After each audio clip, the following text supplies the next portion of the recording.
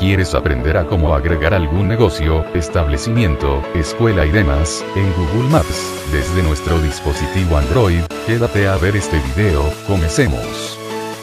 Ya deberán de tener una cuenta de Google, a su dispositivo Android. Vamos a la aplicación de Google Maps.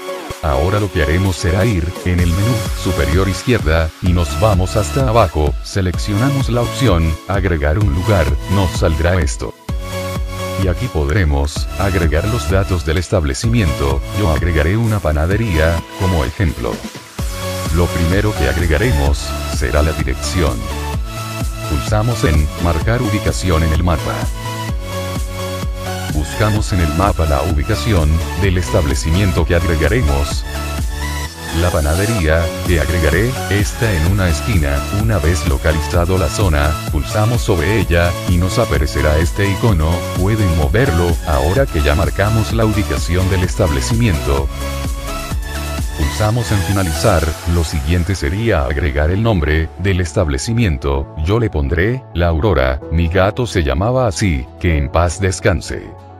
Lo siguiente será agregar una categoría, yo buscaré, panadería, si no les aparece la categoría que escribieron, deberán de poner algo similar a ello. Estos datos serían los más indispensables.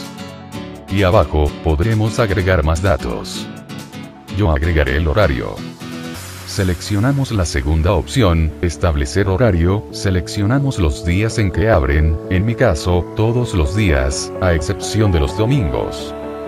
Pulsamos en siguiente, ajustamos la hora en que abre el establecimiento, siguiente, y la hora en que cierran. Pulsamos en confirmar y finalizar. Podremos agregar también el teléfono del establecimiento, algún sitio web, podría una página de Facebook del establecimiento, fecha de inauguración, y por último, algunas fotos del establecimiento, por si tienen fotos de ello, una vez agregado todos los datos, pulsamos en este icono, para enviar nuestro establecimiento a Google. Por cada lugar que agregues, ganarás 15 puntos. Y ahora solo quedaría, la aprobación de Google, que no tarda mucho, es fácil y rápido.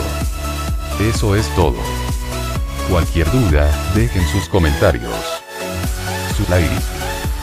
Nos vemos en el próximo video. Adiós.